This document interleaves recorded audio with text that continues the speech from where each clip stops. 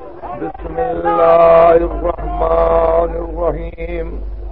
الحمد لله الذي إليه مصائر الخلق وعواقب الأمر. نحمده على نوام فضله وامتنانه.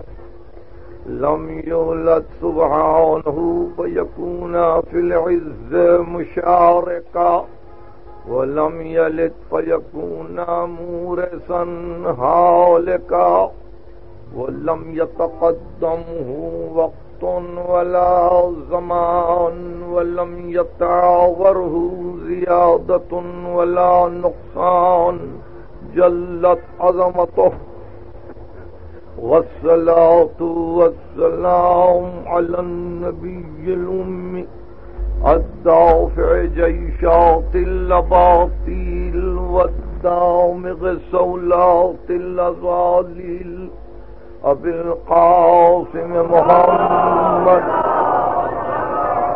أهل بيته الطيبين، الطاهرين، المعصومين، المظلومين.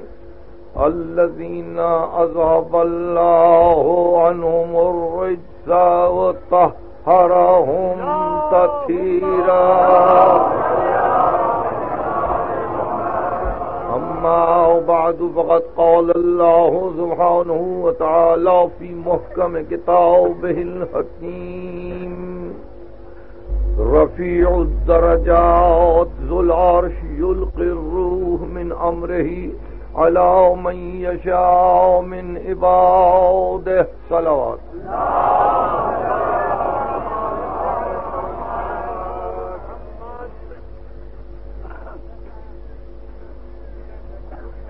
قرآن اور مدارج انسان کے عنوان پر آپ کی خدمت میں یہ چوتھی تقریر پیش کی جا رہی ہے۔ جیسا کہ کل عرض کیا جا چکا ہے آپ کی قوت دراکہ پر مجھے اتنا اعتماد ہے، آپ کے فہم و ادراک پر مجھے اتنا بھروسہ ہے کہ میں کسی مشکل سے مشکل مسئلے کے متعلق بھی یہ نہیں سوچ سکتا کہ کوئی میرا سننے والا مجھے نہ سمجھ سکا ہو۔ اس لیے کہ میرا کام صرف محرکات کو آپ کے سامنے رکھنا ہے اور آپ جس انداز کے ساتھ ان محرکات کے بعد اصل مدعا تک جا رہے ہیں، ممکن ہے کہ آپ میں سے اکثر علم کے ان اعلی مراتب پر نہ ہوں، یہ یقین ہے، مگر پھر بھی آپ کو منزل مقصود تک کسی کی محبت کھینچے لیے جا رہی ہے۔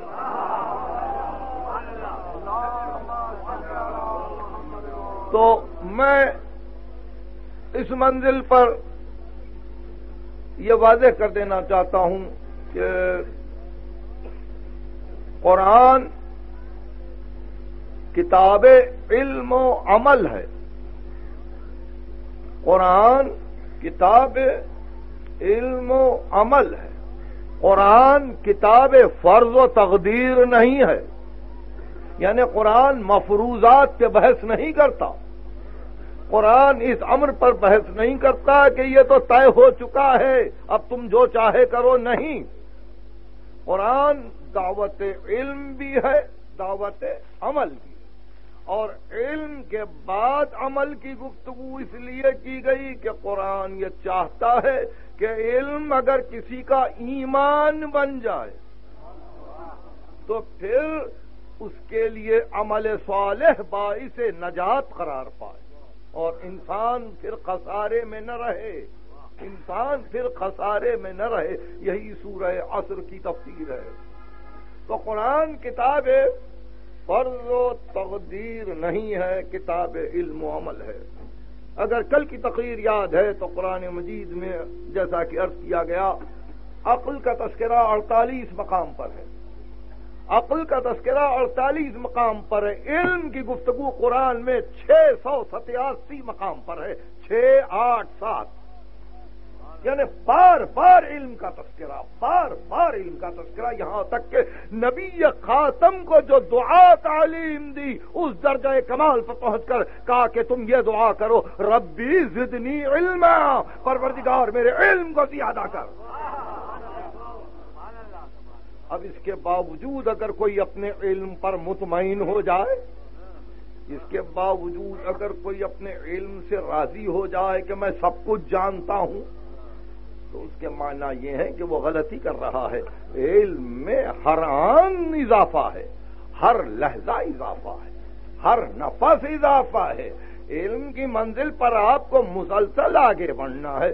تو جہاں دعا و ختمی مرتبت کو یہ سکھلائی گئی کہ تم کہو تم کہو کہ پروردگار، میرے علم میں اضافہ کر۔ تو ابھی جیسا کہ عرض کیا کہ علم کی گفتگو قرآن مجید میں چھ سو ستیاسی مقام پر کی گئی۔ بندوں کے علم کا تذکرہ کیا گیا۔ کسی بندے کے لیے کہا من لدنا علم ہم نے اپنی قربت سے، اپنی نزدیکی سے اس کو علم عطا کیا۔ پیغمبر خاتم کی رسالت پر دو گواہ مقرر کیے۔ ایک اپنی ذات گرامی کل کفا بلّہ شہیدن بینی و بینکم اور دوسرے ومن اندہ علم الکتاب۔ جس کے پاس علم کتاب ہے، تو بغیر علم کے گواہی بھی نہیں ہے۔ دیکھیے، بڑا اہم مسئلہ چھڑ گیا اور اس کے بعد کوئی شاکی نہ ہو پھر۔ بغیر علم کے گواہی نہیں ہے۔ اب سنیے شہد اللہ انہ لا الہ الا خدا گواہی دیتا ہے کہ وہ ایک ہے۔ والملائکت اور ملائکہ گواہی دیتے ہیں۔ وہ اولو العلم قائمن بالقسط۔ اور صاحبان علم گواہی دیتے ہیں جو عدل پر قائم ہے اشہد ان لا الہ الا اللہ۔ کہنے کے لیے علم کی ضرورت ہے۔ علم کی زبان سے اگر اشد لا الہ الا اللہ نکل جائے تو یقیناً وہ شہادت قابل قبول نہیں ہے۔ مگر علم کے معنی بی اے اور ایم اے نہیں ہے۔ علم کے معنی پی ایچ ڈی کی ڈگری نہیں ہے۔ علم وہ جو ذات حق کی طرف لے جائے۔ علم وہ جو مرضی حق کا پابند بنائے۔ علم وہ جو اتباع رسول پر آمادہ کرے۔ اتباع رسول پر آمادگی کے بعد علم علم گواہ بن جائے، گواہ بن جائے کہ میں کچھ نہیں جانتا ہوں۔ اور جاننا چاہتا ہوں اس اس بارگاہ میں پہنچ کر جہاں حقیقت میں علم ہی علم ہے۔ یا وہ مدینہ علم ہو یا باب مدینہ علم۔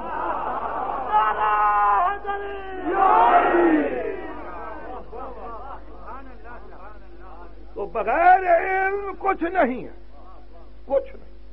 اور ایک بات ہمیشہ یاد رکھیے تقوا تقوا کے لیے کوئی میجر نہیں ہے۔ میجر، یہ معمولی سا لفظ انگریزی کا میں بہت ادب سے معذرت خواہ ہوں۔ کہ بسا اوقات ایسی الفاظ استعمال کرنے پڑتے ہیں کہ میرے نوجوان بھائی مجھے سمجھ سکے، میں نے جیسا کہ پہلی مجلس میں عرض کیا پھر بھی عرض کیا کہ خطاب نوجوانوں سے ہے، ضعیف العمر احباب سے نہیں ہے، اس لیے کہ انہوں نے تو اتنا جان لیا ہے کہ وہ مجھ کو بتلا سکتے ہیں کہ مجھے کیا کہنا چاہیے۔ مجھے تو جوان بچوں کو خطاب کرنا ہے، جن کی تعلیم و تربیت کا سلسلہ جاری ہے۔ اور چونکہ دور ایسا ہے کہ جہاں یہ الفاظ سمجھ میں آ جاتے ہیں، وہاں ایسے الفاظ آمدن استعمال کیے جاتے ہیں۔ علم تقوا کے لیے میجر نہیں ہے، پیمانہ نہیں ہے۔ ترازو نہیں ہے۔ تقوا کا ترازو کیا ہے؟ صداقت میجریبل نہیں ہے۔ تول سکیں میجریبل تول سکیں نہیں۔ شجاعت میجریبل نہیں ہے۔ کیا آپ شجاعت کو تول سکیں؟ سخاوت میجریبل نہیں ہے۔ اپنے اپنے حد استطاعت پر سخاوت میجریبل نہیں ہے۔ آپ سمجھتے مگر علم میجریبل ہے، علم میں ربل تولا جاتا ہے۔ تولا جاتا ہے کہ یہاں تک علم، یہاں تک علم۔ تو باب مدینہ علم کا علم بھی میجریبل ہے۔ میجریبل ہے، تولا جا سکتا ہے۔ اور جب تولا اس کو، تو پتا چلا کہ ایک میزان ہے، میزان سلونی۔ ایک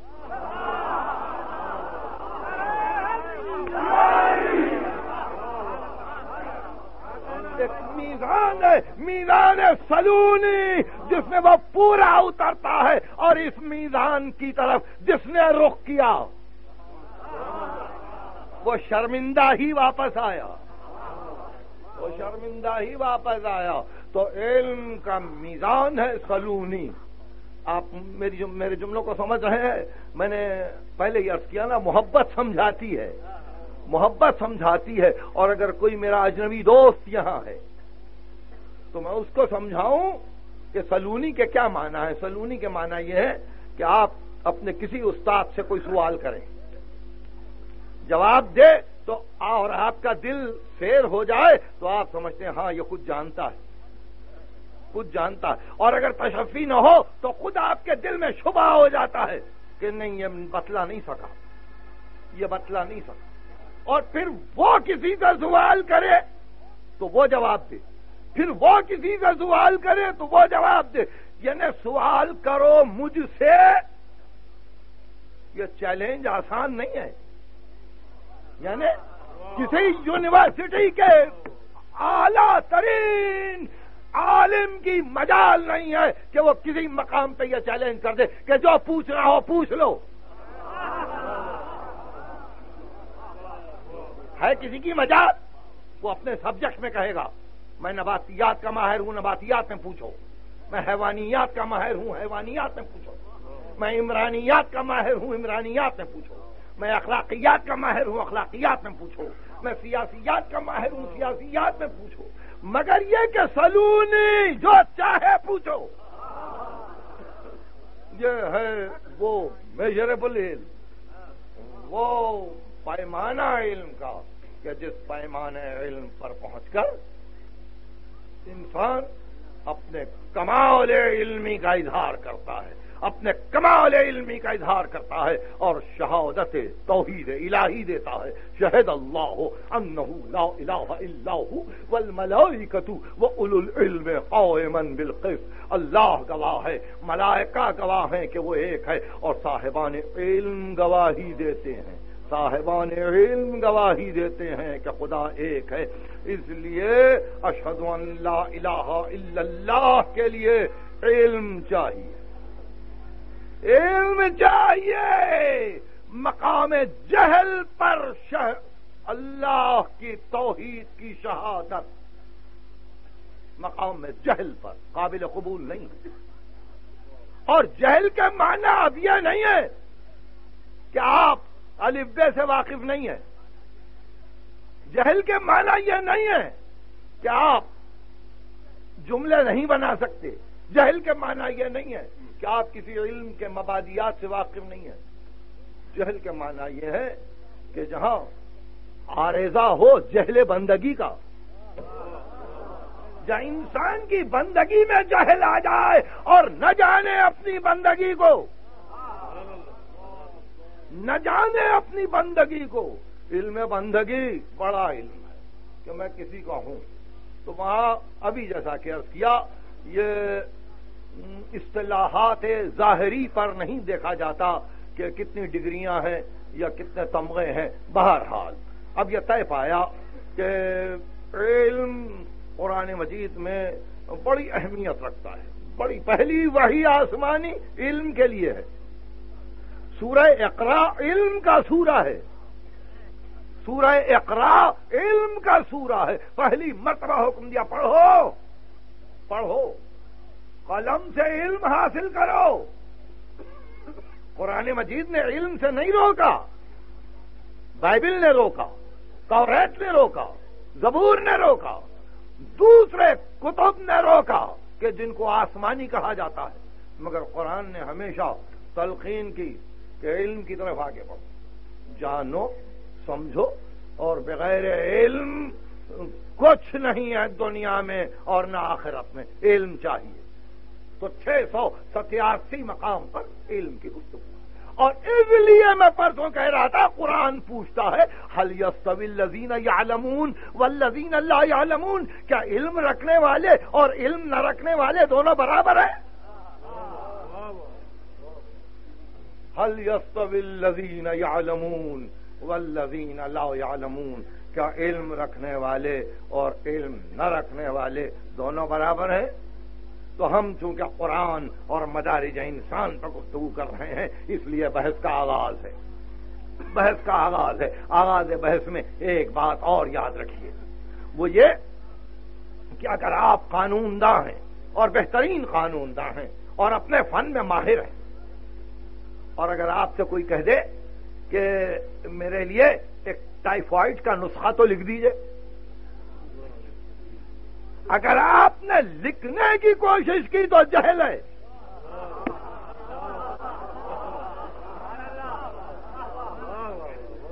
اگر آپ نے لکھنے کی کوشش کی تو جہل ہے اور اگر آپ نے یہ کہہ دیا کہ یہ میرا علم نہیں ہے یہ علم ہے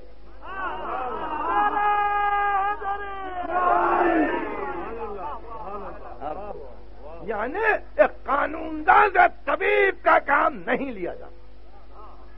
اور کسی طبیب کو اگر آپ یہ کہیں کہ آپ بہت بڑے ڈاکٹر ہیں، میرے اس مقدمے کی پیروی کر دیجیے راضی ہو گیا تو جاہل ہے۔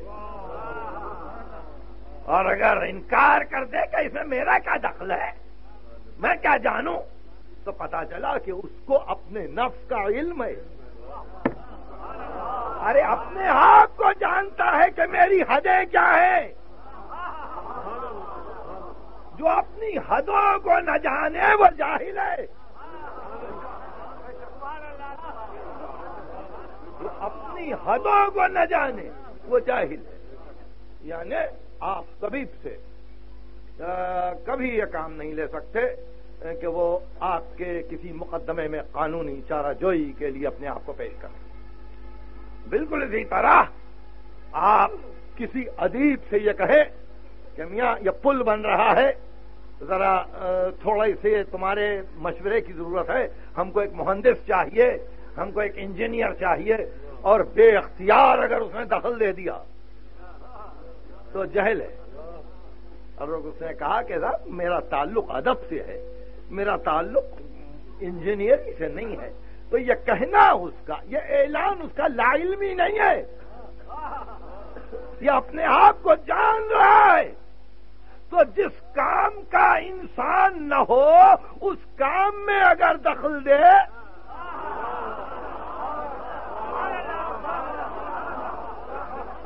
جس کام کا انسان نہ ہو اگر اس کام میں دخل دے تو یقین جانیے وہ اپنا بھی نقصان کرے گا۔ یعنی فیلے لازم ہے۔ دوسروں کا بھی نقصان کرے گا یعنی فیلے متعدی ہے۔ آپ سمجھ رہے تو اس طرح انسان اپنے حدود کا عالم ہو۔ انسان اپنے حدود کا عالم ہو۔ اچھی سی بات ہے، ایک اچھا سا مسئلہ ہے۔ قیبر کی جنگ ہو رہی تھی، بڑی قوت کے ساتھ ہو رہی تھی، ابتدائی حملے تھے۔ اور کچھ یہودی اس عمارت پر چڑھا گئے کہ جہاں بہت سے بیویاں تھیں مدینے سے جانے والی جو رسول کی طرف سے، رسول کے لشکر والوں کے پکوان کے لیے انتظام کر رہی تھی کہ ایسے میں یہودیوں نے حملہ کیا اور سیڑھی لگا کر دیوار پر آ گئے۔ عورتوں کے ساتھ ایک حسان ابن ثابت تھا۔ مردوں میں کوئی نہیں تھا۔ تو عورتوں نے کہا، حسان، ارے، ایک لکڑی لے کے اس کو مار تو دے۔ کہا زندگی بھر میں نے شیر کہا ہے، لڑائی نہیں کی ہے۔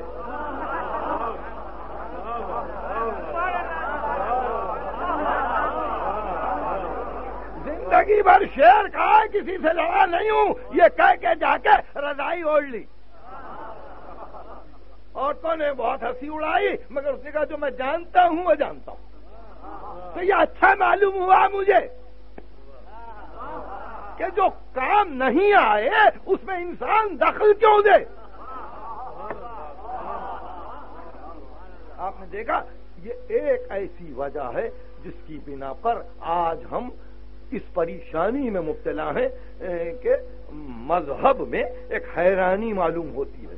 اس لیے کہ مداخلت ادھر سے ہو رہی ہے، جن کو مذہب سے متعلق کچھ جان، علم ہی نہیں ہے۔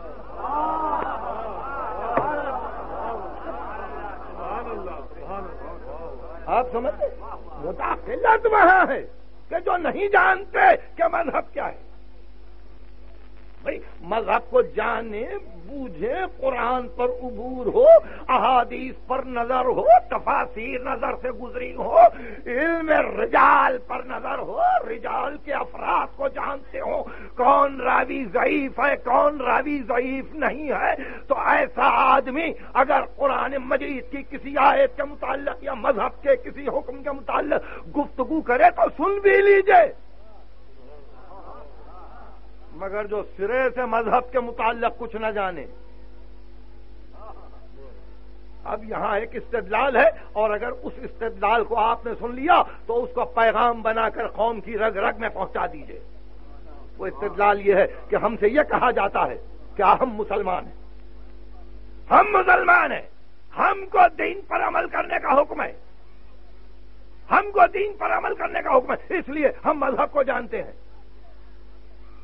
ایک استدلال یہ ہے کہ آخر ہم بھی تو مسلمان ہیں۔ بالکل صحیح، میں پوچھتا ہوں، آپ کو قانون پر چلنے کا حکم ہے کہ نہیں ہے؟ بے شک حکم ہے۔ تو کیا آپ مقنن ہیں؟ کیا آپ قانون ساز ہیں؟ کیا آپ قانون بنا سکتے ہیں؟ کیا آپ قانون گزاری کر سکتے ہیں؟ کیا آپ قانون میں مدد دے سکتے ہیں؟ قانون پر چلنا ہر انسان کا فرق ہے۔ ہر انسان کا فرض ہے۔ قانون پر چلنا ہر انسان کا فرض ہے۔ مگر اس کے یہ معنی نہیں ہے کہ ہر انسان قانون داں ہے۔ یا قانون میں مشورے دے۔ دیکھیے، ایک شہری کے اعتبار سے ہم قوانین میں گھرے ہوئے ہیں۔ ہم پابندی کرتے ہیں۔ بالکل ایک مسلم کے لحاظ سے ہم پر عبادتیں لازم ہیں۔ مگر نہ شہری کے اعتبار سے ہم قانون میں دخل دے سکتے ہیں، نہ مسلم کے اعتبار سے ہم یہ کہہ سکتے ہیں کہ ہم مذہب کے عالم ہیں۔ اس لیے ان سے لو، جہاں علم ہے۔ اسی لیے قرآن نے کہا، اگر علم نہیں ہے تو فص اہل ذکر ان کن تم لا تعلمون۔ اگر علم نہیں ہے تو صاحبان ذکر سے پوچھو۔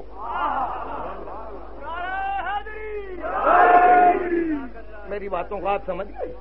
اگر علم نہیں ہے تو صاحبان ذکر سے پوچھو۔ اور علم مذہب بہت مشکل ہے۔ کوئی روایت کا پڑھ دینا کسی روایت کا جان لینا، کسی روایت کا گفتگو کر لینا آسان نہیں۔ دو کتابیں اسلام کی کہ جن پر آج اسلام کو ناز ہے۔ ظاہر ہے کہ وہ بڑی جلیل القدر کتابیں ہیں۔ اور جن پر نظر رکھنا ہر ایک کا فرض ہے، تاکہ وہ اپنے کو بھی پہچانے اور اپنے مقام کو بھی پہچانے ان کتابوں کی روشنی میں۔ ظاہر ہے، ایک بخاری شریف ہے، دوسرے صحیح مسلم۔ ان کو پڑھیے تاکہ آپ اس کتاب کی روشنی میں اپنے کو سمجھیں۔ اپنے کو سمجھیں۔ آپ کو معلوم ہے، محمد ابن اسماعیل بخاری رحمت اللہ علیہ، ان کا سن وفات دو سو چھپن ہجری ہے۔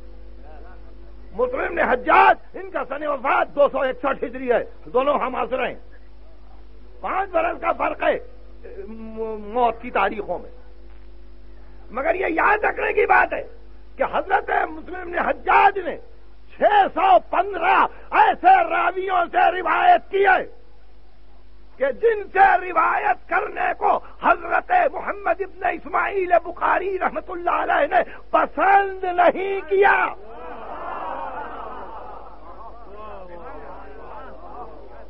یاد رکھیں گے آپ، چھ سو پندرہ ایسے راوی ہیں صحیح مسلم شریف کے، کہ جو محمد ابن اسماعیل بخاری رحمت اللہ علیہ کے پاس ناقابل قبول ہے اور حضرت محمد ابن اسماعیل بخاری رحمت اللہ علیہ کے پاس چار سو چونتیس ایسے راوی ہیں کہ جن کو حضرت مسلم نے حجاج نے صحیح مسلم کے قابل نہیں سمجھا۔ تو علم اتنا تو ہو کہ راوی کون قابل قبول ہے؟ یہ کب ہو سکتا ہے جبکہ یہ پتا چلے کہ صادق کون ہے اور کاذب کون ہے؟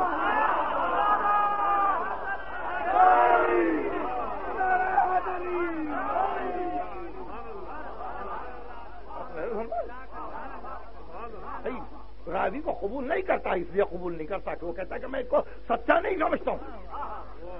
سچا نہیں سمجھتا ہوں تو آخر یہ درجہ ہے نا مراتب انسان میں سے ایک درجہ ہے نا کہ یہ صادق ہے یہ کاذب ہے یہ عالم ہے یہ جاہل ہے یہ عادل ہے یہ ظالم ہے یہ مومن ہے یہ کافر ہے یہ موحد ہے یہ مشرق ہے یہ فاسق ہے یہ عارف ہے یہ سب مدارج ہے نا آپ سارے مدارج کو ایک جگہ کیسے کر دیں گے کہ آؤ سب مل بیٹھے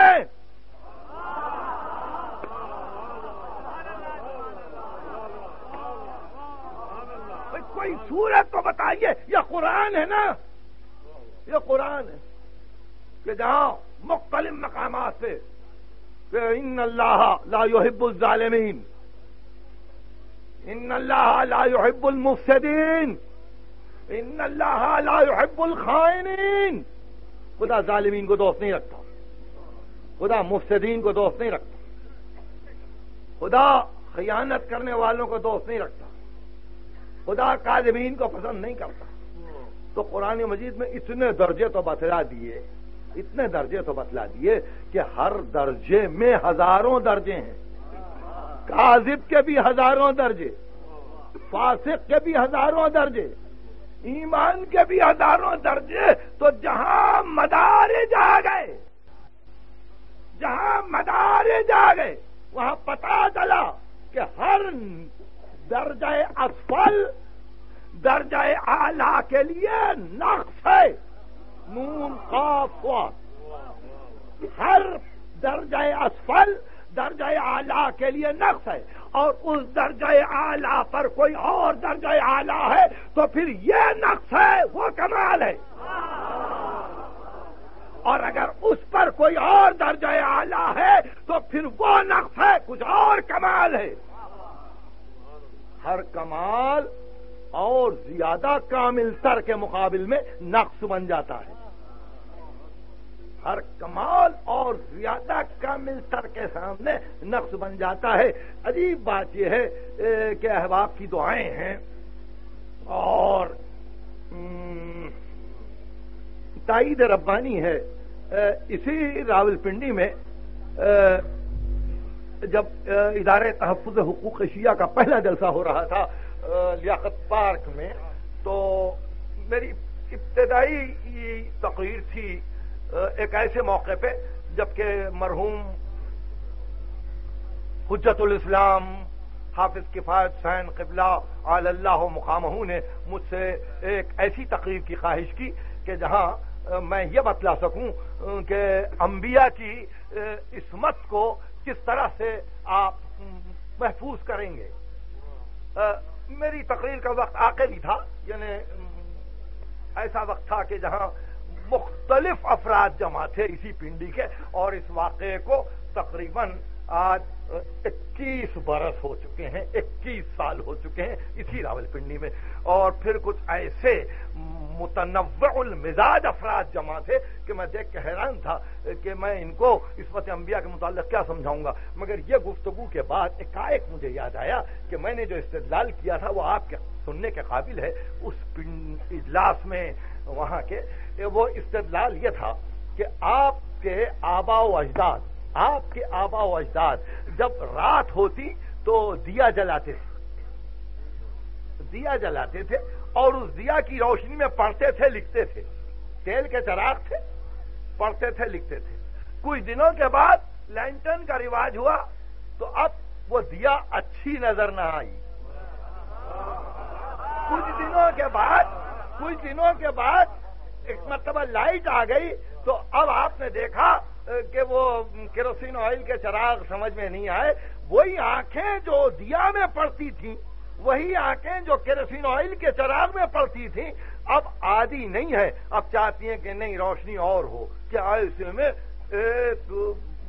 ٹیوب لائٹ آ گئی۔ تو کہا بھائی، یہ ٹیوب لائٹ چاہیے، یہ چراغ نہیں ہے، اس میں میری آنکھیں نہیں پڑتی ہیں، مجھے نظر نہیں آتا۔ اور اس کے بعد ایک مرتبہ ہزار کینڈل پاور کا چراغ آیا۔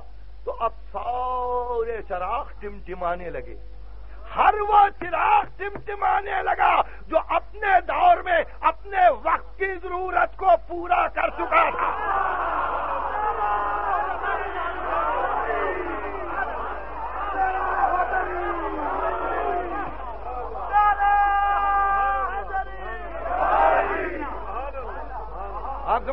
اور ایسے میں وہ ہزار کینڈل پر کا چراغ جل رہا تھا کہ اتنے ہوئی آفتاب نکلا اب جو آفتاب نکلا تو وہ ہزار کینڈل پاور کا چراغ بھی زرد پڑ گیا۔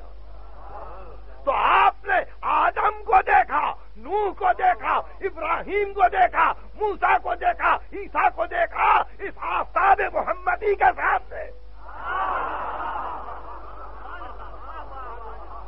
ان سے ترک اولا ہوا، ان سے غلطی ہوئی، ان سے یہ ہوا، یہ ساری باتیں ان کے دور کی نہیں تھیں۔ وہ اپنی ضرورت کی تکمیل کر رہے تھے۔ آپ نے اس دور کے سامنے اس دور کو دیکھا۔ اس چراغ کے سامنے اس چراغ کو دیکھا۔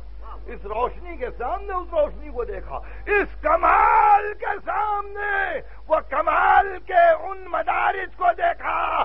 جہاں ابھی دین پورا کامل نہیں ہوا تھا۔ یاد آئی آپ کو تفریح؟ تو ایسی منزل پر جہاں دین کامل ہو، نعمتیں اتمام پر پہنچ جائیں، وہاں ایسی منزل پر ہر کمال ہر کمال انسان کو جذب کرتا ہے۔ ہر کمال انسان کو جذب کرتا ہے۔ کوئی اگر طب میں کمال رکھتا ہے، تو آپ کا دل خود بخود چاہے گا، چلو کامل طبیب کے پاس چلے کوئی مکمل قانون دہ ہے، آپ کا دل چاہے گا کہ بھائی اگر کچھ مجھے استطاعت ہوتی تو اس قانون دہ کے پاس جاتا۔ یہ اس قابل ہے کہ اس سے کام لیا جائے۔ کمال خود بخود جذب کرتا ہے۔ اور جہاں ہر چیز میں کمال ہو اور اگر رسول اس کی محبت کو واجب کر دے۔ یہ کل کی گفتگو تھی، مسلسل۔ اگر رسول اس کی محبت کو واجب کر دے اور یہ کہہ کے واجب کرے کہ یہ ہے خندق کی لڑائی، کفر کل کے مقابل میں، ایمان کل جا رہا۔ ہے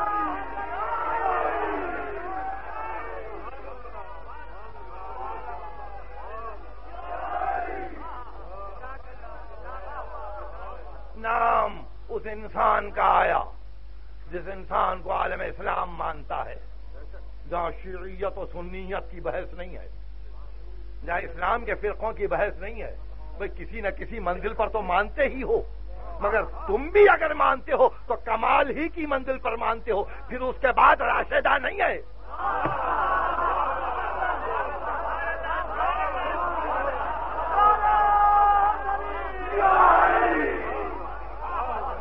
وہ بھی ایک کمال کی منزل ہے یعنی وہاں روشد ختم ہو گیا۔ روشد ختم ہو گیا۔ اچھائی اور نیکی ختم ہو گئی۔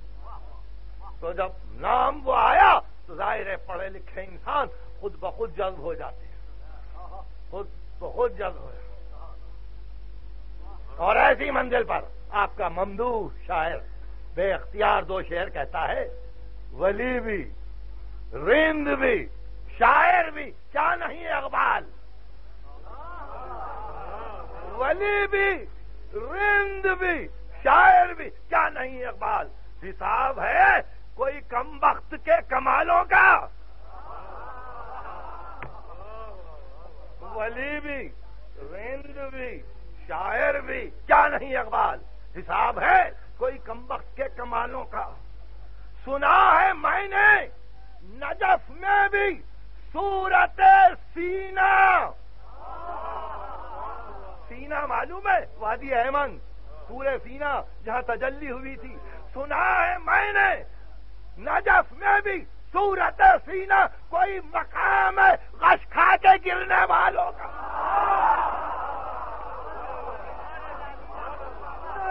ولی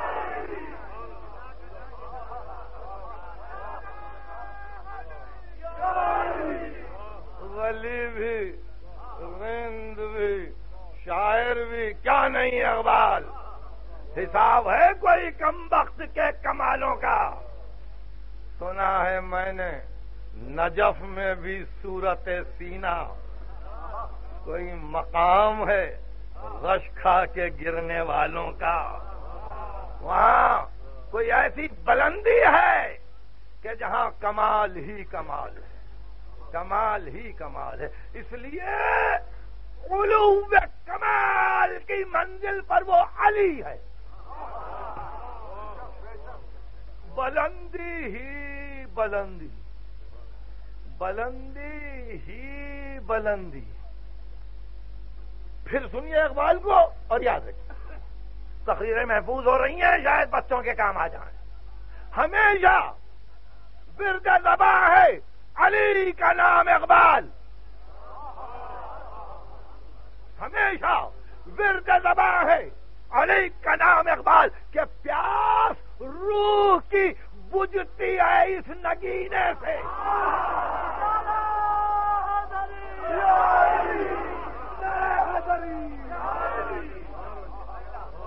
ہمیشہ ورد زباں ہے۔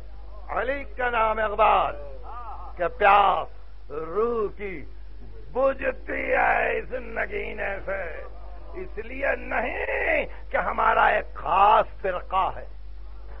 ہم ان کا نام لیتے ہیں نہیں، بلکہ اس لیے کہ ہر ناقص یہ چاہتا ہے کہ کمال تمام اور تمام کمال پہ نظر جائے۔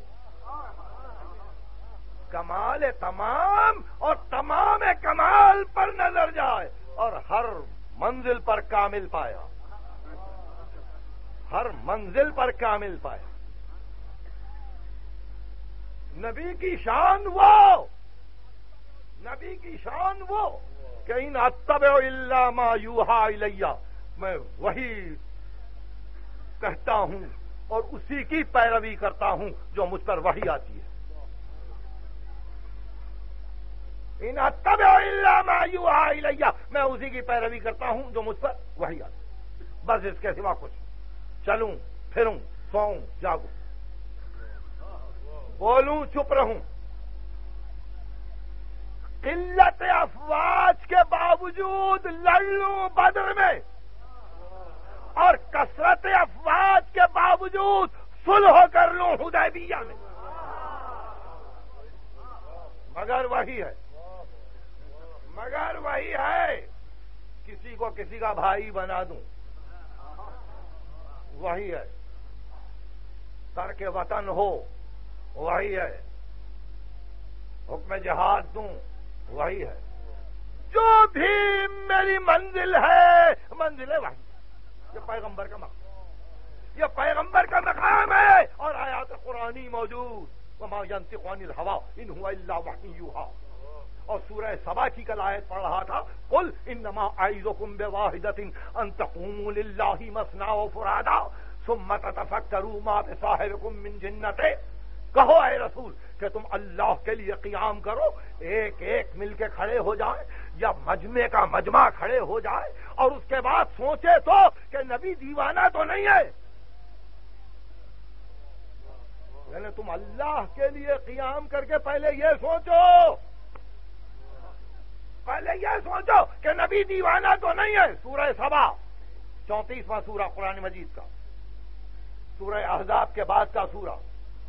قل انما اعيذكم بواحده ان تقوموا لله مثنى وفرادا ثم تتفكروا ما بصاحبكم من جنة. پھر اس کے بعد تم فکر کرو، غور کرو، تفکر کرو کہ نبی دیوانہ تو نہیں ہے، ہر منزل پر دیکھو، ہر عمل کو دیکھو۔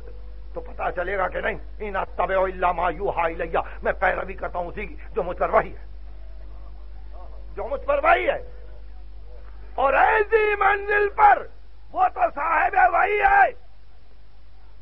اور محمد ابن اسماعیل بخاری رحمت اللہ علیہ نے بعد فضائل علی میں، بخاری شریف میں کل تین حدیثیں لکھی کل تین حدیثیں لکھی بخاری شریف، کل تین حدیثیں۔ اور وہ تینوں حدیثیں تین کروڑ حدیثوں سے زیادہ وزنی ہیں۔ وہ تینوں حدیثیں سوچ سمجھ کے لکھی ہیں، لکھنے والے نے کہ وہ ایک تو مورد الزام نہ ہو اور دوسرے لکھ جائے جو اس کو لکھنا ہو۔ اور پھر بعد کتاب باری جس کتاب کی اہمیت ہو، اسے پہلی حدیث لکھی کہ پیغمبر نے علی سے کہا کہ تیری مثال مجھ سے ایسی ہے جیسی مثال ہر ان کی موسا سے۔ تھی انت منی منزلت ہارون من موسا حدیث منزلت۔ دوسری روایت کی غدن رجولن کرارن غیر فرار کل میں علم مرد کو دوں گا۔ خدا و رسول کو دوست رکھے گا۔ وہ خدا و رسول کو دوست رکھتا ہے۔ یہ تھی حدیث رایت۔ حدیث منزلت، حدیث رایت۔ اب تیسری ایک حدیث ہے، اس وحی کو دیکھیے اور اس مقام کو دیکھیے۔ یا فرمایا کہ میرے پاس یہ حدیث صحیح پہنچی۔ اور میں لکھ رہا ہوں کہ علی کو فرمایا، یا علی، انت منی و انا من کا تو مجھ سے ہے، میں تجھ سے ہوں۔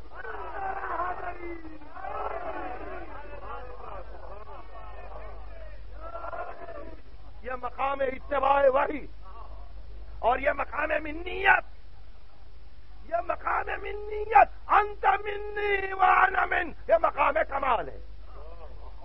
یہ مقام کمال ہے۔ یعنی وہی نہیں۔ لیکن میں وہی کا قائل نہیں ہوں علی کے لیے۔ وہی نہیں۔ مگر صاحب وہی نے کہا۔ مگر صاحب وہی نے کہا، تو مجھ سے ہے۔ میں تجھ سے ہوں۔ تو آپ نے دیکھا، صاحب وہی کا یہ ارشاد اس لیے تھا کہ دنیا میں ایک جذب پیدا ہو۔ اور اقبال یہ کہیں کہ ہمیشہ ورد زباں ہے، علی کا نام اقبال۔ کہ پیاس روح کی بجھتی ہے اس نگینے سے۔ علی کو یاد نہیں کیا، محمد کو یاد کیا ہے۔ ہم علی کے فضائل پڑھتے ہیں۔ دنیا حیران ہے، سمجھتی ہے پھر قواریت ہے۔ نہیں، یہ فضائل تو ختمی مرتبت کے ہے نا۔ ختمی مرتبت کے ہے نا کہ ایک کامل نے دوسرے کو اتنا کامل کر دیا۔ بھائی، زمانہ اور کیا چاہتا ہے؟ کسی ایک کو تو کوئی کامل کر کے بتلا دے ارے کسی ایک کو تو کوئی کامل کر کے بتلا دے، اتنا کامل کیا کہ مقام ناز میں کمال پر پہنچا کر ہاتھوں کو بلند کر کے بتلایا، یہ کامل من کن تو مولا۔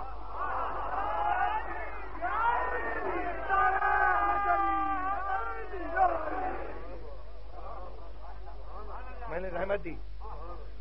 ظاہر ہے کہ یہ مسائل ہے کہ ہمیشہ انسان مدارج پر نظر کرے مراتب پر نظر کرے اور جہاں مدارج ہوں گے، مراتب ہوں گے، وہاں نقص بھی ہوگا، کمال بھی ہوگا۔ جہاں نقص ہوگا، وہاں نقص کے مدارج ہوں گے۔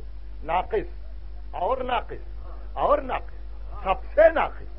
اور معلوم نہیں کہاں ناقص، یہاں تک کہ اسفل سافلین۔ یہ نہیں، یہ قرآن کی آئے تھے لقت خلقنا الانسان فی احسن تقویم ثم رددنا ہو اسفل سافلین ہم نے انسان کو بہترین قوام پہ پیدا کیا۔ مگر جب اس کا عمل بگڑا تو ہم نے اس کو اسفل سافلین پہ ڈال دیا۔ یا وہ بلندی یا یہ پستی۔ یا وہ بلندی یا یہ پستی۔ تو جہاں مدارج ہے مدارج کو تو طے کر لیا آپ نے قرآن سے۔ رفیع الدرجات زلال یا یہ کہ جیسا کل آیت پڑھ رہا تھا سورہ انعام سے کہ یرفا درجاتی من نرفا درجاتی من نشا ہم جس کے درجے کو چاہے بلند کر دیتے ہیں۔ تو درجوں کا بلند کرنے والا وہ ہے۔ اور درجوں کو بلند کرتا ہے۔ درجوں کو بلند کرتا ہے جان کر بوجھ کر استحقاق کو دیکھ کر، صلاحیت کو دیکھ کر، قابلیت کو دیکھ کر، اس کے ظرف کو دیکھ کر، اس کے قبول کی کیفیت کو دیکھ کر۔ اور جب درجے کو بلند کیا جب درجے کو بلند کیا اور بلندی دے دی تو دنیا کے خلوق کو ان کی طرف پھیر دیا۔ وجہ من الناس تحوی رحیم دنیا کے قلوب کو ان کی طرف پھیر دے۔ اور اب دنیا کے قلوب اس طرف پھرے ہوئے ہیں۔ اس طرف پھرے ہوئے ہیں اور ایسی منزل پر۔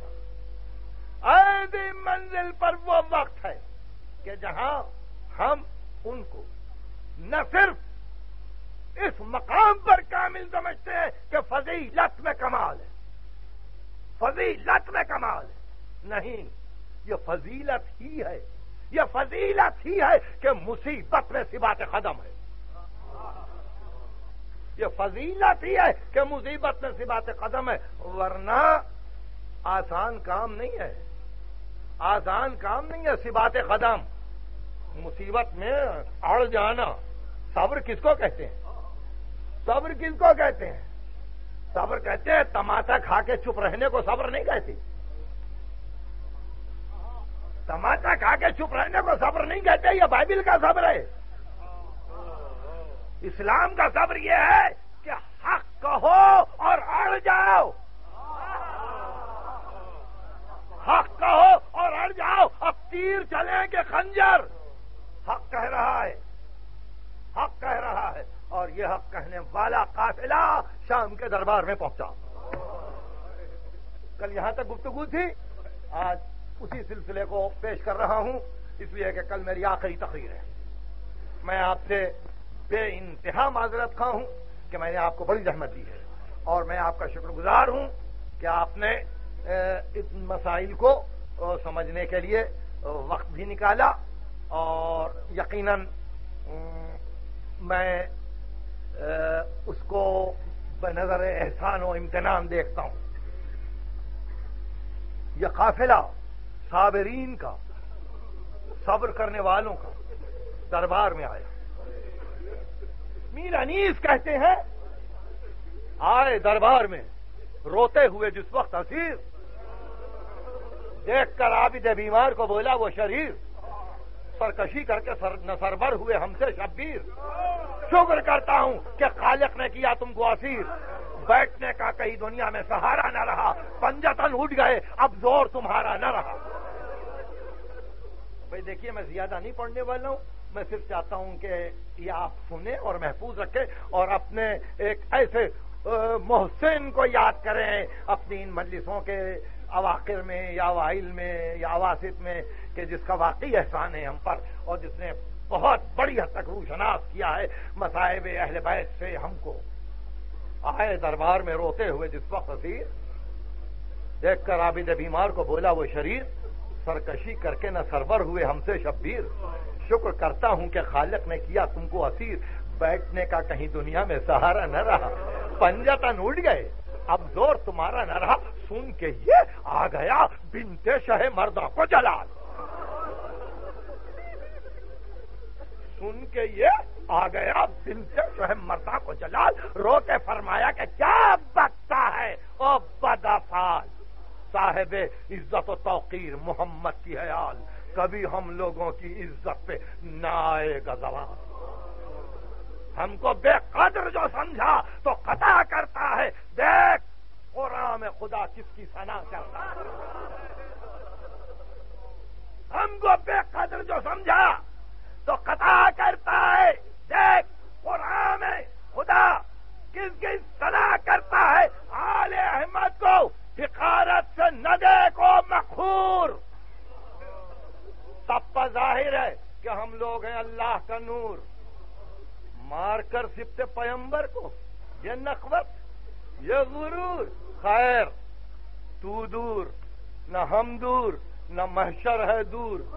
حق کا دریائے غضب، جوش میں جب آئے گا، باندھنا ہاتھوں کا سادات کے کھل جائے گا۔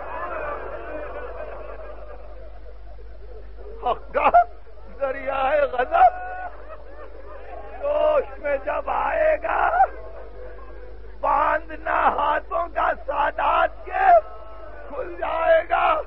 یہ بی بی کی تقریر ہے، خطبہ کل عرض کروں گا۔ تقریر کی روانی ابھی رکی نہ تھی کہ ایک مرتبہ ریت کے تخت کے پیچھے سبز چادر تھی، سبز پردہ، یہ اٹھا۔ اور بے ردا ایک کنید آئی۔ اور کہا، امیر، کیا حسین مارے گئے؟ کہا یہ کیا ہوا؟ یہ کیا ہوا؟ تو بے آ گئی۔ تو بیریدا آ گئی۔ تو نے میرے ناموس کا، میری عزت کا خیال نہ کیا۔ تو خاک پڑے تیری عزت پر۔ ابھی فاطمہ کہہ رہی تھی کہ اس کی بیٹیاں دربار میں اس کی بیٹیاں دربار میں آ گئی خاک پڑے تیری ناموس پر۔ حسین قتل ہو گئے حسین قتل ہو گئے کہا ہاں ہاں تو مڑ کے ایک مرتبہ شہزادیوں کی طرف دیکھا۔ کہا، یہ علی و فاطمہ کی بیٹی ہے؟ یہ علی و فاطمہ کی بیٹیاں ہیں۔ اب ایک ایک کے قدم پہ جا کے گرتی تھی اور کہتی تھی بی بی بس یہ دعا کرو کہ میرا دم نکل جائے۔